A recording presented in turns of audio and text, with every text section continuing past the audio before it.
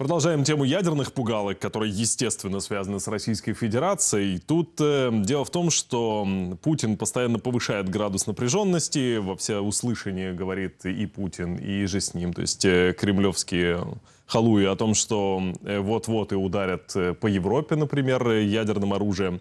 Но э, появилась информация, что совсем недавно путинский режим передал ядерные ракеты белорусскому диктатору Лукашенко.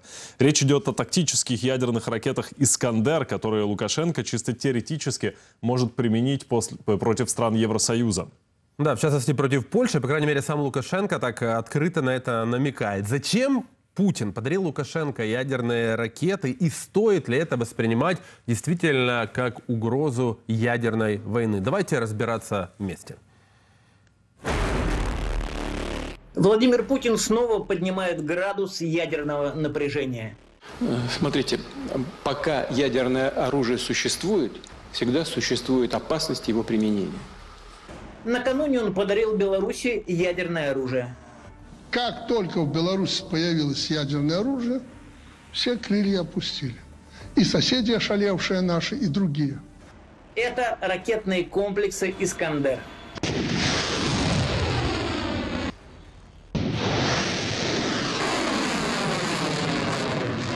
А, мы получили э, такие комплексы, как «Искандер». Особо опасное оружие – оружие действительно опасное. И в принципе о его размещении в Беларуси говорят последние полгода.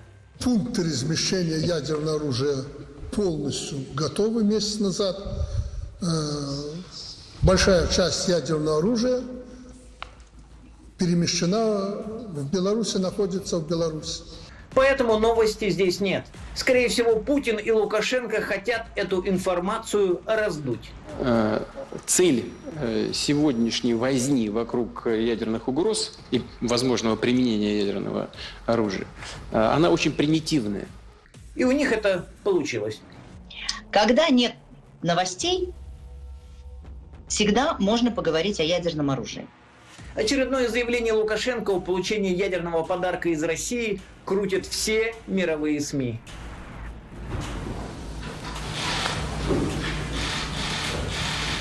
Впрочем, в этом нет ничего странного.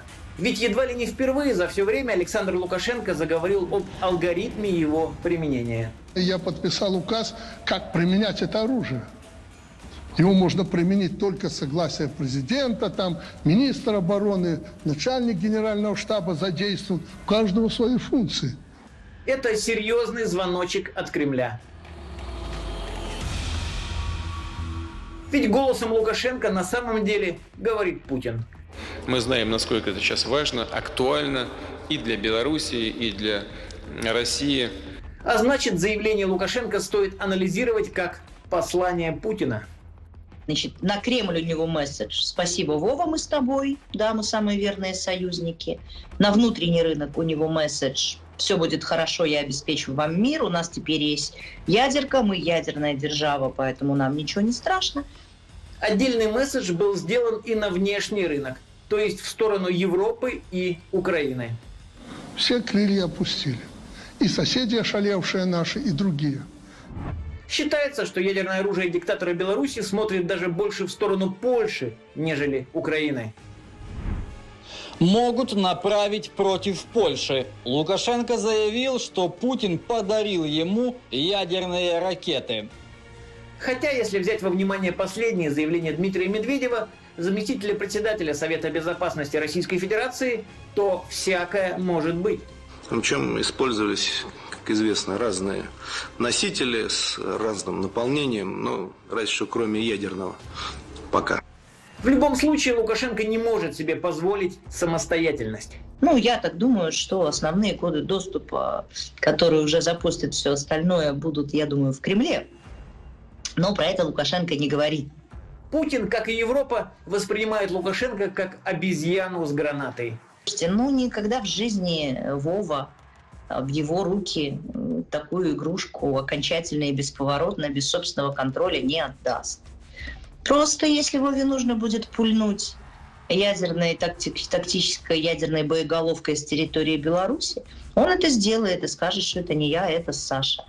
Поэтому убеждение белорусского диктатора о том, что он сам все решает, это стратегически слабый ход.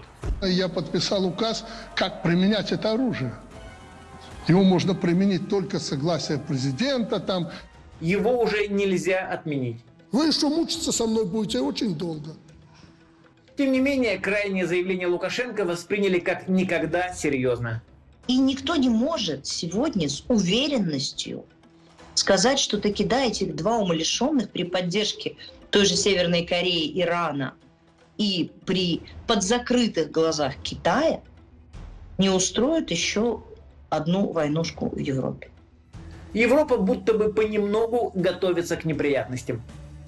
Ну, все готовятся на всякий случай к войне. Вон там Литва, что там у нас, 600 бункеров будет оборудовать, рыть на границе с Белоруссией, Россией. И только один Лукашенко, похоже, не понимает, во что его втянули. Если вы даже посмотрите на все эти эм, прогнозы с западной стороны, то там везде фигурирует, что белорусская армия воевать не пойдет. Но с территории Беларуси будут вестись боевые действия. И все это говорят как один. Тогда что такое Беларусь? Правильно, полигон. В то же время наращивание ядерной угрозы может быть попыткой усадить Украину и страны НАТО за стол переговоров. Но что именно задумал тандем Путина и Лукашенко, разгадать на 100% вряд ли получится.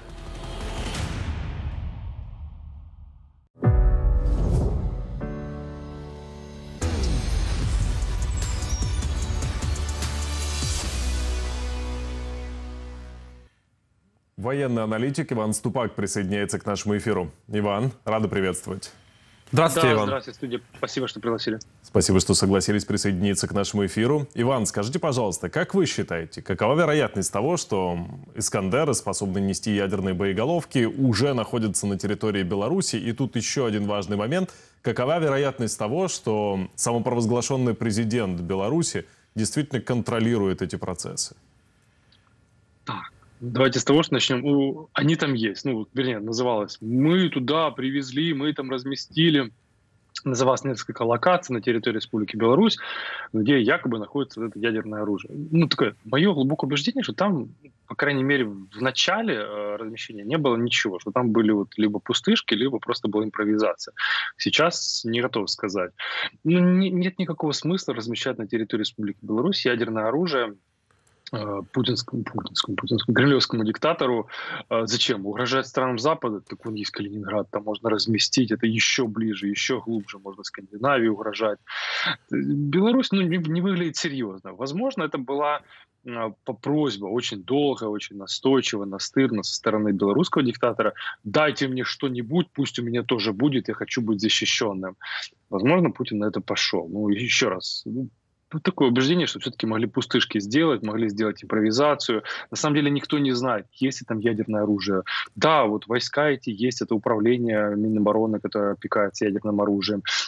Да, срочники, да, вот охраняют, да, белорусские э, войска охраняют внешний периметр, к внутреннему периметру их близко не подпускают, к ядерному оружию их не подпускают, потому что это не просто вот, э, вот тебе чемодан, вот тут открываешь кнопка, вот тут, тут пальцем тыкаешь, куда ты хотел, чтобы прилетело, и, и все. И компьютер сам все сделает. Нет, это серьезная инфраструктура, у белорусских военных такого опыта, знаний нету, туда их не допустят, кнопку Лукашенко точно не дадут. Возможно, на что Лукашенко рассчитывает, что э, раз ему привезут, то никто уже не заберет, и в случае проигрыша Российской Федерации, э, все останется у него. И он такой вот, э, знаете, мне оставили машину в гараже краденую посторожить, э, воришка э, там, попался, а машина осталась мне. Я сейчас оформлю ее как свою собственность.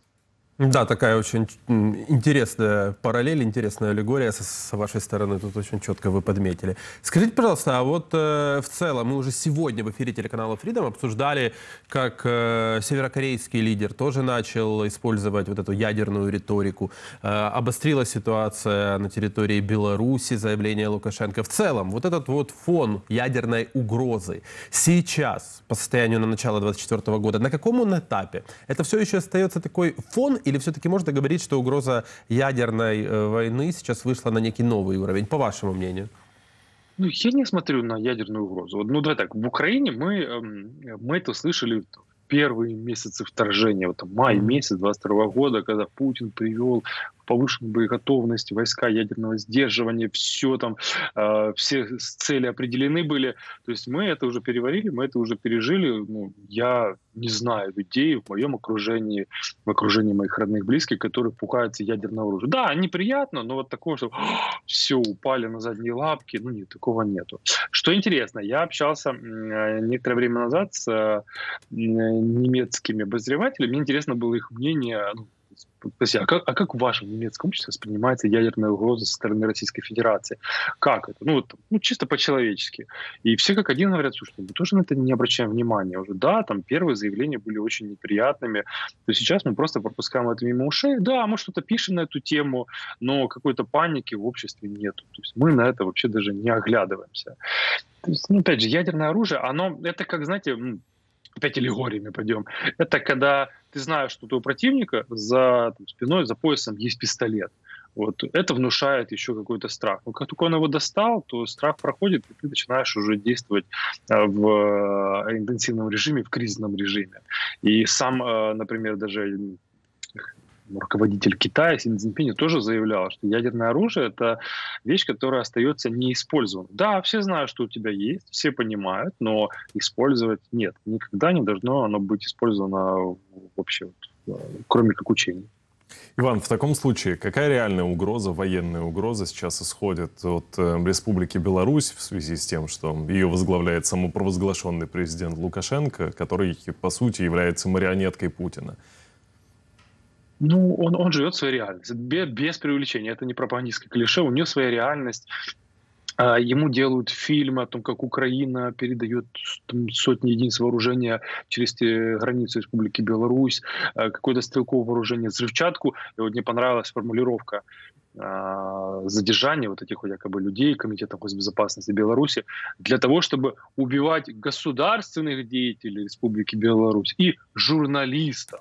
А я сразу же апеллирую, секундочку, ну, в Украине, какие, я уверен, в России тоже и в соседних странах, вот если просто выйти на центральные улицы, начать спрашивать, а кого они знают из государственных деятелей Беларуси, кроме вот этого вот престарелого таракана, никто никого не знает. Там нет ни премьер-министра, ни главы парламента, ни министра. Все no name, кого там убивать. Журналисты, кроме вот этого оголтелого Азаренка, э, такого, хотел нецензурно сказать, ладно, не, не совсем в уме, тоже никого не знают. Поэтому, еще раз, он варится своей кашей, ему хочется показывать свою значимость, важность, что его принимают, его слышат, он в страны Африки летает, он в хоккей играет, пропаганда ему дифирамбы, поэтому, ну, еще раз, внимание на него, думаю, не стоит обращать вообще. Иван, а вот по вашему мнению вообще сейчас э, мы прекрасно понимаем, что с первого же дня полномасштабного вторжения вот эта вот связка двух э, диктаторов – Путин и Лукашенко ассоциировалась вполне справедливо со злом, смертями, убийствами и так далее. Вот сейчас, когда мы стоим на пороге третьего, начала третьего года полномасштабного вторжения, Лукашенко и Путин, они способны еще на некий неприятный сюрприз, скажем так? Или же они будут вести ту свою, назовем это так, подлую деятельность преступную, к которой мы уже все, украинцы, по сути, привыкли?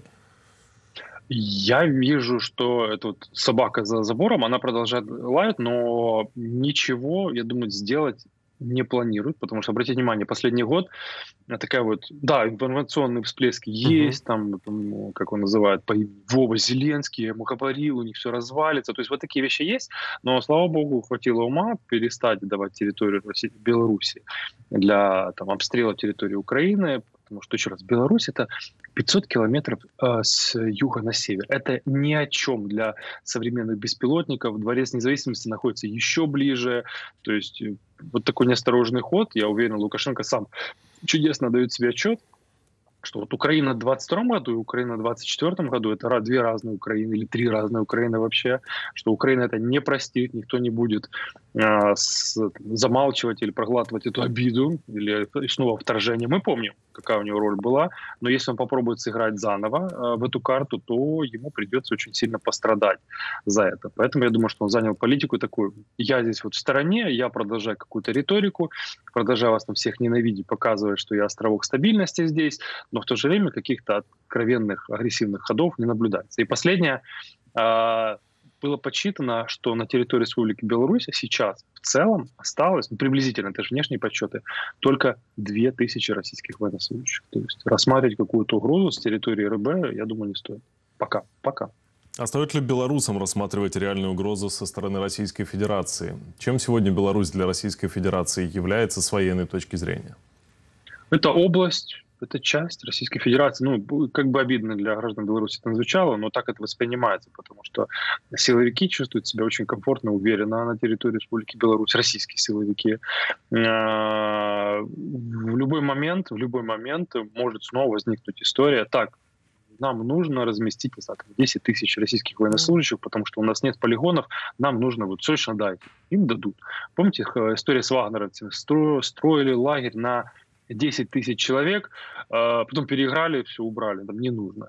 Лукашенко зависим. Я напомню, по итогам 2022 года белорусская экономика зависела от российской на 60%. А, там прогнозировалось, что на конец 23 это будет 70%. Статистику не посмотрел, но интересно глянуть. Я думаю, что окей, не меньше, чем 60%. Поэтому как скажут, так и будут делать. Да, действительно так. Ну, знаем, что слова, которые заявляет Лукашенко и Путин, на самом деле мы к ним опять-таки привыкли уже с первого дня полномасштабного вторжения, поэтому будем держать руку на пульсе событий с вашей помощью, естественно, в том числе. Иван, спасибо вам за, вам за этот анализ. Иван Ступак, военный аналитик, присоединялся к эфиру телеканала Freedom. Благодарим. Спасибо. Спасибо. До свидания.